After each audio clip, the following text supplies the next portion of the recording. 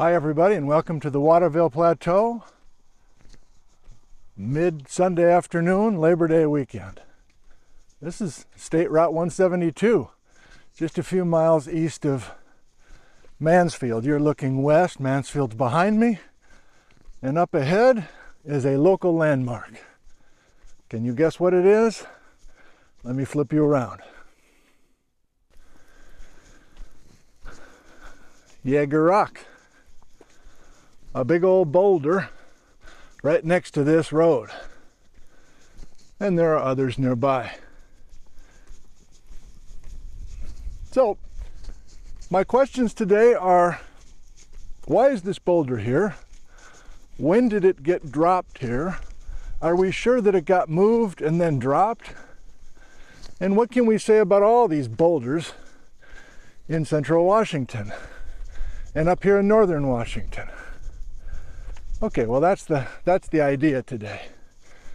So, yeah, graffiti, but hey man, graffiti's been around for a long, long time, so we can't blame the kids today. Um, this is a incredible boulder made out of basalt, and the clue to how it got here is what Yeager rock is nested in. And without working too hard, we can see that there's a healthy accumulation of glacial till. This is what glacial till looks like.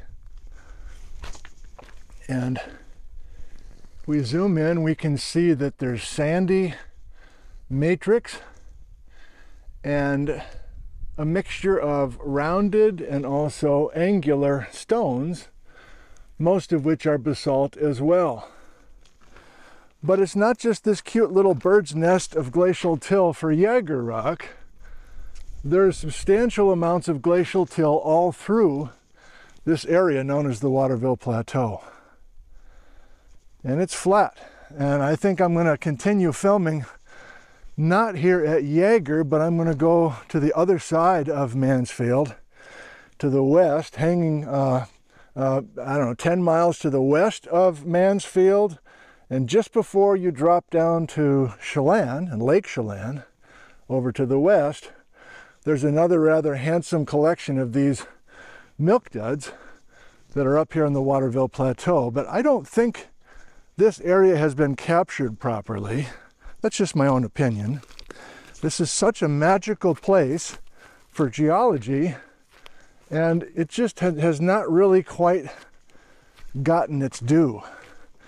So maybe I'll figure out how to get more eyes on this place called Waterville Plateau. And if you live in this area, you're like, don't get more eyes on this. We like our area nice and remote. Well, I, I know what you're saying, but at the same time, um, I like sharing what I've been able to learn about geology with everybody. And this is a good spot, man. What can I say? This is a good spot. So most geology field trips that involve the Pleistocene make a pilgrim, pilgrimage here to Yeager Rock. So this is this is nothing new, but I don't think that I have shared this place with you, even if you've been a long time viewer. Okay, so I think there's confusion just generally about boulders like these. And to me, there are three choices. If we have a boulder that was dropped during the Ice Age. And when I say the Ice Age, I mean the last 2.6 million years worth of time. That's what all geologists mean. And yes, there were multiple advances and retreats of ice worldwide in the last 2.6 million years. But uh, many of you know what I've been doing lately, and that is I'm asking uh, myself, and therefore many others as well, when I make these programs, are we sure that all of the Ice Age stories are tucked into the late Wisconsin, are tucked into just the most recent 20,000 years? Okay, well, in this particular episode, the answer is yes. These boulders, these milk duds, were deposited north of Withrow, Washington, younger than 20,000 years ago. Everybody agrees on that. That's not a problem. But I'm up here to look at what glacial till looks like from that vintage. And if we do manage to find glacial till that is not younger than 20,000 years old, I don't know if we'll find any, but if we do, then I want to know what to compare it with. So, what are the possibilities for these big boulders? They got deposited during the ice age, that's fine, but were they all deposited directly by the ice? And the answer is no. These guys were deposited directly by the Okanagan ice sheet in the late Wisconsin time. And the evidence for that is the glacial till that these boulders are sitting upon. But there are plenty of boulders, basalt and otherwise, that are further south from here, where the ice sheet never got, and yet those boulders are sitting all over the place. So, what's the story there if those boulders were not deposited directly by the ice? And the answer is they were deposited by water, ice age floods. And if we say that, there are two possibilities. One possibility is truly the boulder got caught in a flood. The boulder came from the ice sheet somehow and that boulder just got tumbled ass over tea kettle down the stream of where the ice age floods were uh, were uh, you know, flowing. And that's a flood tumbled boulder and there's plenty of those in the in the middle and the floor of uh, major coulees uh, in southern Washington let's say but there's another possibility, and it's a common possibility, and it's a bit of a mind blowing possibility. And again, it's not this guy. These Yeager rock milk duds are definitely ice deposited directly, good old fashioned glacial erratics.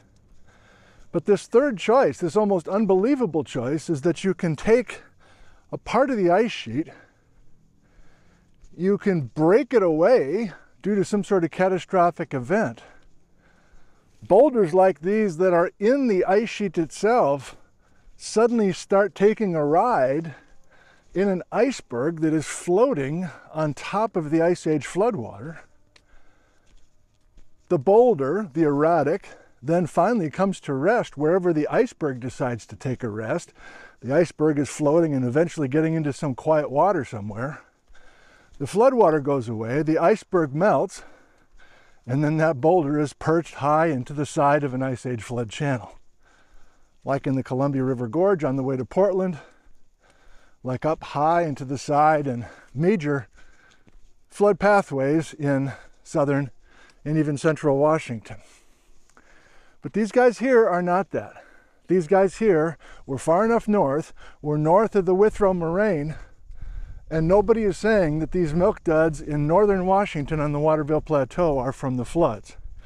They are from the late Wisconsin ice advance less than 20,000 years ago.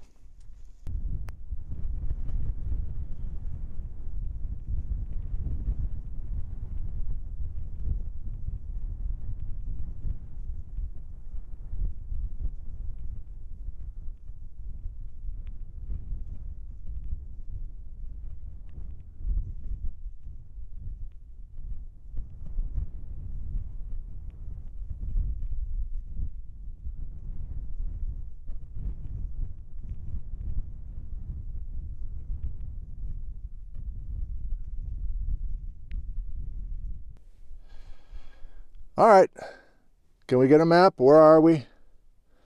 Sure, we can do it quickly. I left Ellensburg this morning, Sunday morning, drove over to Vantage, up to Ephrata, up and over the Beezley Hills, dropped into Moses Coulee, got on US 2, hung a right, got myself to Withrow, crossed the moraine. So the southern margin of this ice sheet in northern Washington. This is the Canadian ice sheet coming down over the border. Uh, so, uh, for the last hour, I've been driving around underneath the Okanagan ice sheet, looking at landscapes and looking at all these amazing boulders. So, I'm, I'm here, basically. Now, you recall that this is the last time, the most recent time that this ice sheet came over the border. So if you want a number, we're talking about uh, a nice little snapshot 17,000 years ago. And the ice here is about a thousand feet thick. You'll notice up in the mountains there's plenty of ice as well. Of course, over to create Glacial Lake Missoula. So this is late Wisconsin time, and this is the story that is, is definitely a thing.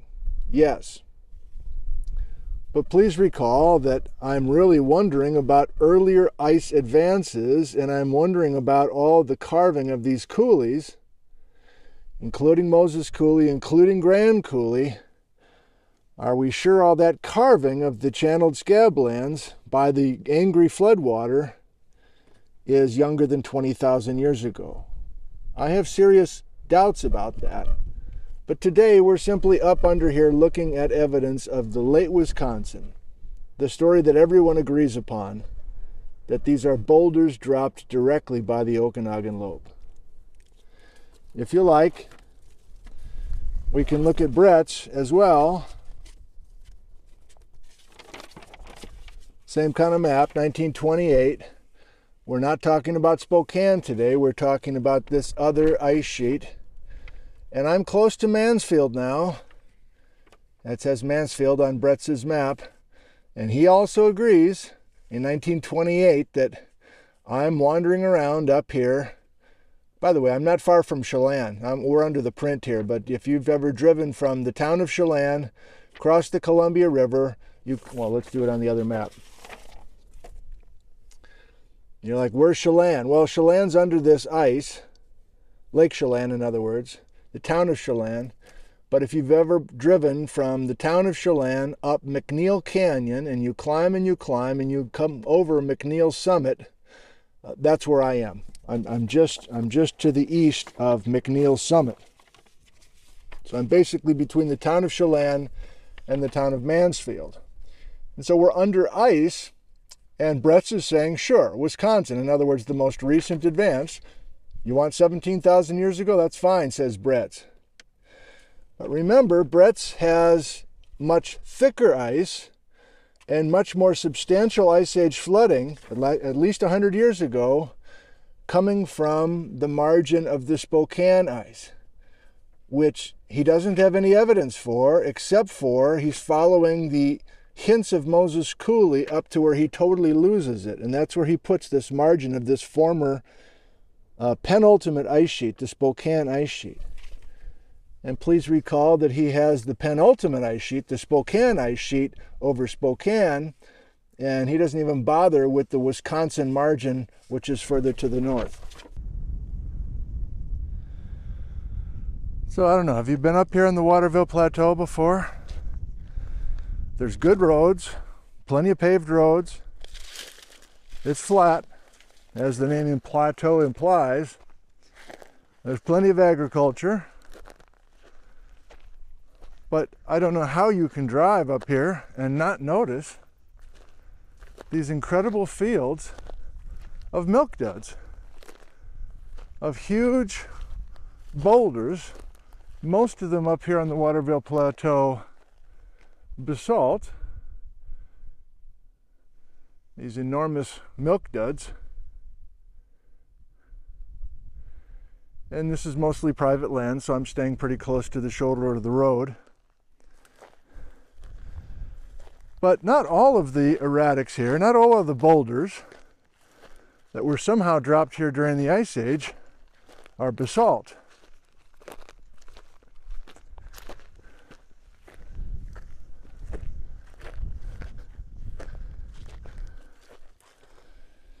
Here's a beautiful plutonic rock looks to be some sort of diorite or granodiorite.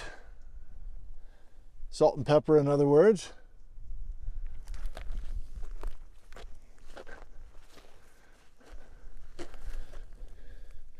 Another granite, but different in composition.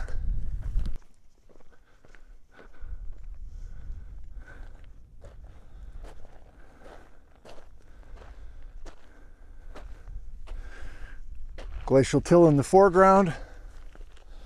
all sorts of stones of different composition.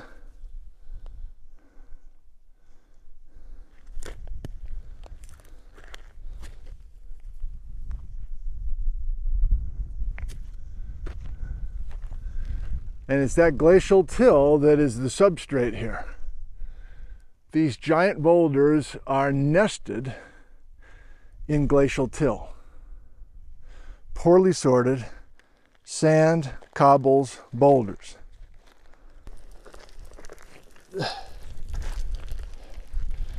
Daddy's doing the splits. So maybe to be expected, this glacial till is dominated by basaltic clast. That's each of these black guys. Semi-rounded, semi-rounded, mostly angular. And again, if I swing out, maybe zoom in for you a little bit, you can kind of take a survey of this exposure. This is glacial till. There's a sandy matrix and there's no organization. There's no stratigraphy, there's no layering, there's no lines, there's no organization by size. And yes, occasionally there are some granites or gneisses that got picked up from the north, but I guess surprising to me. Oh, why not? Let's take a ride. Here we go. I'm going to get a bunch of stuff in my socks. It's worth it. You're worth it.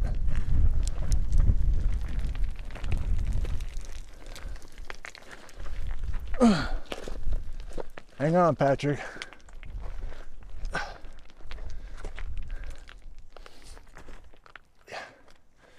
I expected this to be more heterogeneous, I must say. So here's my hand for scale. And there's a substantial amount of glacial till here that mantles the top of the Waterville Plateau if we are north of Withrow, if we're under the ice itself. And I brought my hammer up here. Why? Well, to show you that it's it's not exactly cemented. Kind of out of hands now. And you see that it's pretty loose stuff. Now, I think my question, well, first of all, a statement. So, this, everyone agrees, is late Wisconsin glacial till. The ice was here, the ice was up here in the sky, a thousand feet of glacial ice was sitting right here. And this stuff is compact, but I wouldn't say that it's, you know, super constant, super uh, cemented. Now, as soon as I say that to you, Am I sure the ice was on top of this? Is this protect, potentially glacial till that was deposited as the ice was uh, withering away? I guess that's possible, maybe probable. But here's my question. If I'm somehow able to find some glacial till that Bretz was sure was an older generation of till over by Spokane, or if I'm able to this fall to find some Cheney glacial till, which apparently was older yet. Is it going to look like this? Is it going to feel like this? Is it going to be this loose? Is the glacial till from 100,000 years ago or more, if I can find it, how different is it going to be than this very late Wisconsin glacial till? That's my question. And that's the main reason that I wanted to come up here and show this to you. Now I see a couple of other non-basaltic clasts, but do I really feel like scampering like a water skipper over this surface? Well, I have to now, don't I? Okay, well.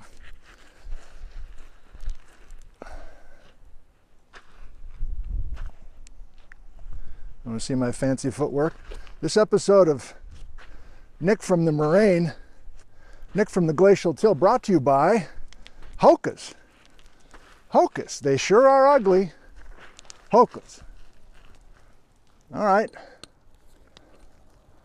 Rounded, A green quartzite perhaps. Maybe a serpentinite. Okay, we got a couple others here. I'll just zoom for you. I can't get up there. Hey! Can't get up there. Diorite clast, very well rounded. Granite clast, where'd you go? There.